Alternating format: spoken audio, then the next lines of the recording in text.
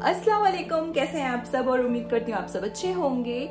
और आज मैं अफ्तार में बना रही हूँ कोफ्ते, क्योंकि आज बहुत देर हो गया है तो फटाफट से बनाते हैं कोफ्ते।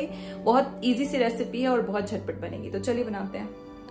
तो सबसे पहले मैं यहाँ पे दो बड़े प्याज को लाल करूँगी। प्याज को लाल करते वक्त आप उसको कंटिन्यूसली चलाते रहें ताकि वो अच्छे से लाल हो जाए। और अगर आप उसमें थोड़ा सा नमक डाल देंगे ना तो वो बहुत जल्दी लाल हो जाता है। तो सबसे पहले मैंने एक मिक्सर का जार लिया है और अब मैं इसमें मिन्स्ड मीट जो है वो डालूँगी। मैंने यहाँ पे मटन लिया है और उसको अच्छे से धो लिया है और मिक्सर में डालने का, की वजह यह है कि ये अच्छे से बारीक पीस जाए और जो भी इंग्रेडिएंट हम इसमें ऐड करेंगे वो अच्छी तरीके से इसमें मिक्स हो जाए।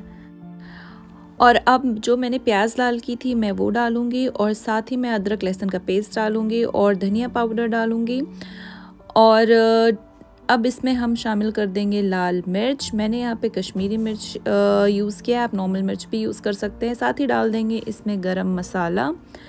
और अब इसमें मैं डालूँगी बेसन। हमने बेसन को अच्छे से रोस्ट कर लेना है। बेसन जो है वो बाइंडिंग के काम आता है।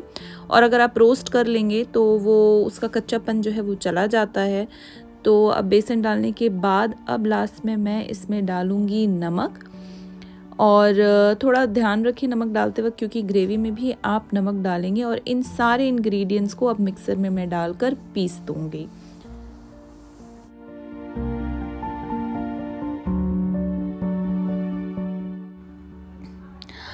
अब ये जो मिन्स मीट है, वो अच्छी तरीके से पिस गया है और मैंने इसमें डाल दिया है धनिया और हरी मिर्च भी डाल सकते हैं। मैंने नहीं डाला, आप चाहो तो डाल सकते हो।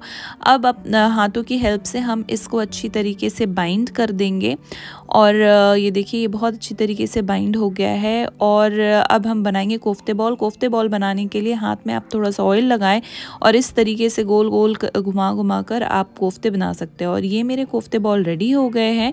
अब फटाफट ग्रेवी की प्रिपरेशन करते हैं। ग्रेवी बनाने के लिए मैंने यहाँ कढ़ाई चढ़ा दी है और कढ़ाई गर्म होते ही मैंने यहाँ पे 10 से 12 जो है वो बादाम डाल दिया है और साथ ही मैं डालूँगी यहाँ पे कोकोनट पाउडर अगर आपके पास पाउडर नहीं है तो आप कोकोनट को छोटे छोटे यू नो पीसेस में काट कर डाल सकते हो। जो नारियल होते सूखे नारियल, उसको आप काट कर डाल सकते हो। और इसको अच्छी तरीके से हम रोस्ट करेंगे। जब तक ये नारियल जो है, हल्का सा अपना ऑयल जो है, वो ना छोड़ दे, तब तक आप उसको अच्छे से रोस्ट करते रहो।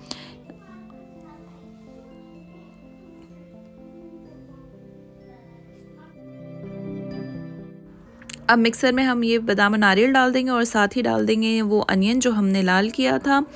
और इसका बहुत अच्छा सा पेस्ट बनाना है हमें। नेक्स्ट स्टेप ये है कि हम एक बाउल लेंगे और बाउल में लेंगे दही। मैंने यहाँ पे दो बड़े चम्मच दही लिया है। अगर आप मीट या मिन्स मीट ज़्यादा लेते हो तो आप दही क्वांटिटी बढ़ा लेना। और अब इसमें मैं शामिल कर दूँगी जो पेस्ट हमने अभी प्रिपेयर किया था, बादाम, नारियल और फ्राई की हुई अनियन का। वो पेस्ट हम इसमें डालेंगे और इस सबको अच्छे से मिला लेंगे।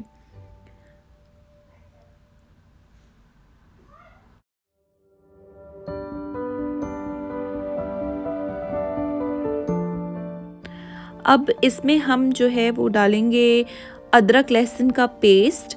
यहाँ पे मैंने दो से ढाई टीस्पून डाला है और साथ ही मैं डालूँगी इसमें जो है हल्दी पाउडर और उसके बाद मैंने डाला है इसमें कश्मीरी मिर्च और कश्मीरी मिर्च डालते ही बहुत अच्छा सा कलर आ जाता है, ग्रेवी बहुत अच्छा बहुत अच्छा कलर आता है ग्रेवी का और अब यहाँ पे मैंने डाल दिया है धनिया पाउडर। और अब मैं इसमें डालूँगी थोड़ा सा ज़ीरा पाउडर और लास्ट में मैं डालूँगी इसमें गरम मसाला। तो इसमें थोड़ा सा मैं हमने गरम मसाला ऐड कर दिया है। अब इन सबको जो है अच्छे से मिक्स कर लेते हैं।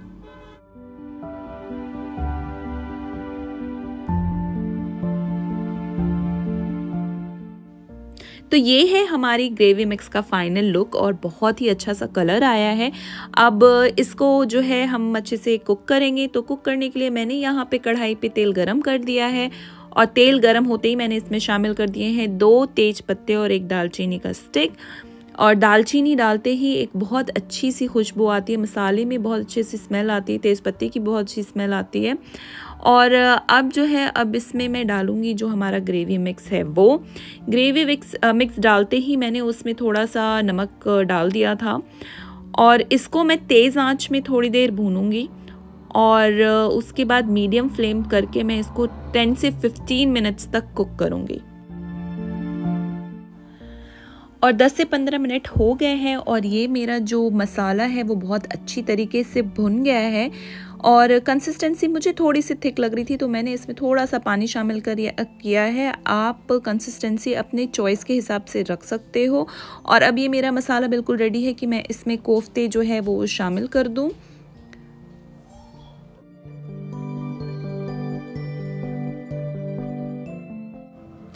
और मैंने यहाँ पे सारे कोफ्ते बॉल्स ऐड कर दिए हैं और इसको मैं थोड़ी देर तेज़ फ्लेम में पकाऊँगी, दो से तीन मिनट और उसके बाद मैं फ्लेम को सिम कर दूँगी और इसको कुक करूँ कुक करूँगी दस से पंद्रह मिनट तक।